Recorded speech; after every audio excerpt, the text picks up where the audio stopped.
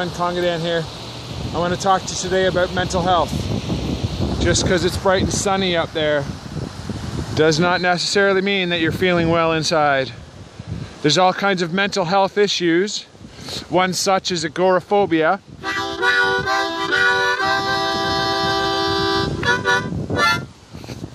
That's a fear of going outdoors, open spaces, large open spaces. Fear of being too close to other people. That's one.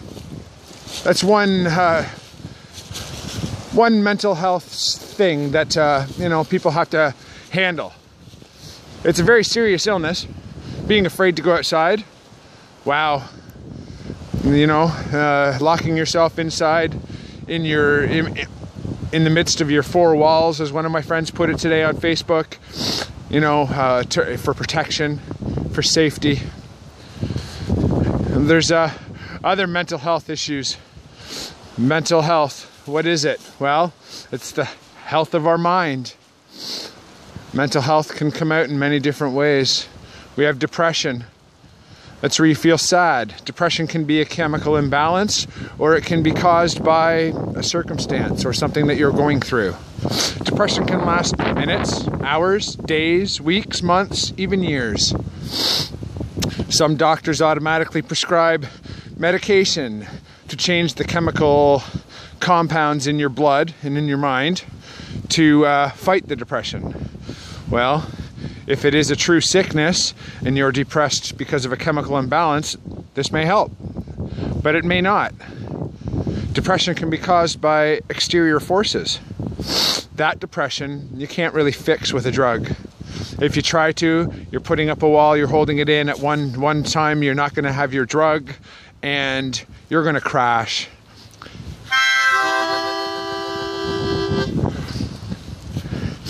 This crash can cause a form of mania, manic depression, where you're upset, crying, you're angry, nothing's okay, nothing feels right. These feelings don't go away very easily. The only thing we can do with them is resolve them, work through them, let the feelings flow through you. If you block those feelings, they'll stay inside you and cause a negative energy that may never go away. That river is flowing.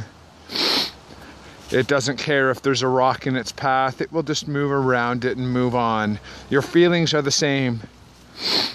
You need to address them, handle them in a healthy way, and move on.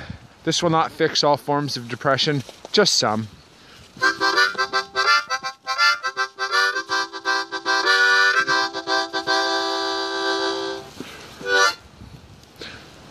There's a condition called bipolar.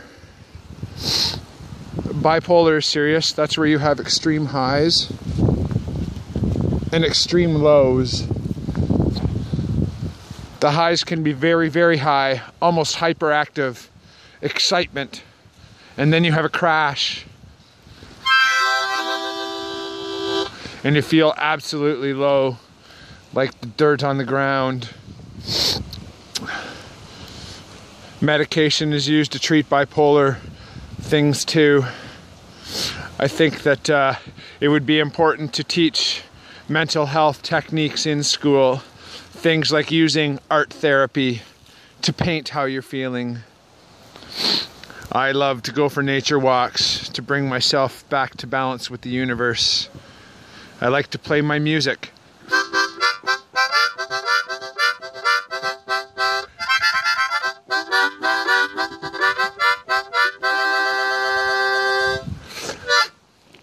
If I'm feeling sad, I play slow sad music. If I'm feeling anxious, I play skippy, jumpy, hoppy music.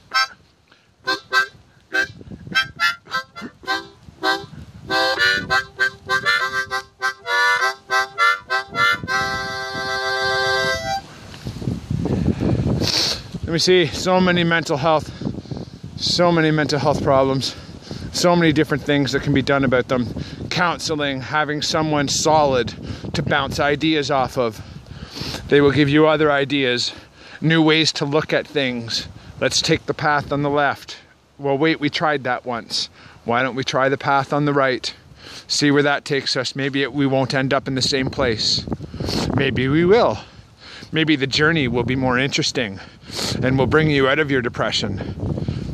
There are many things. I said art, I said music, I said counseling, I mentioned medication. That's a last resort, I believe. Although I'm not a doctor, I'm not a psychologist. I've dealt with many different things anger, sadness, abuse, different things like that. I've reacted completely improperly many different times in many different situations. In many ways, I've helped people. I've helped them to see where they've gone wrong, possibly made choices that have led to their depression. Hmm. Energy is in within us. Staying positive, looking at the bright side of life. It's cold out, ah, but the sun is shining. The water looks beautiful and pristine.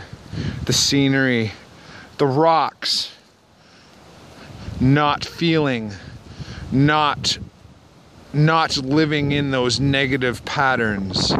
Those rocks are here and they're solid. They're not going anywhere. They're not going to be affected by the winds of depression. They're not going to be affected by the music I play.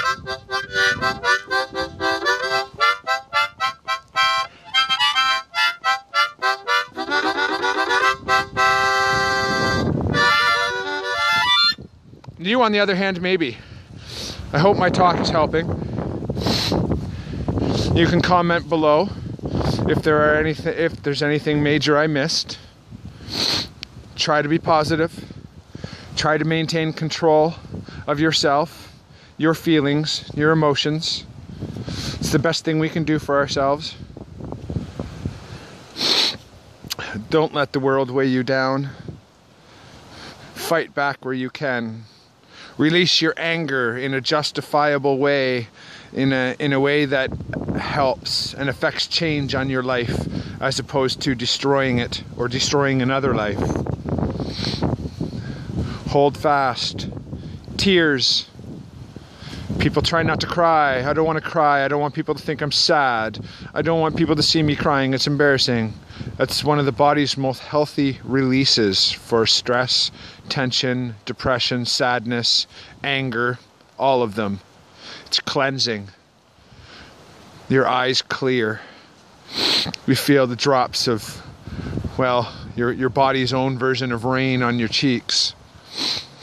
Usually, you're calm when you're finished crying. You feel better. Sometimes you don't. What you do after you've had your cry is you then go and find something to do totally away from what is depressing you. If it's a man or a woman depressing you, go do something with a child. Play a game. Sing a song. Push them on the swing. That can help. If there's no excitement in your life, no companion in your life. Don't spend all your time worrying about the fact that you do not have somebody important in your life. You do. You are an important part of your life. You must remember this. Do not let that go. We can all be strong together.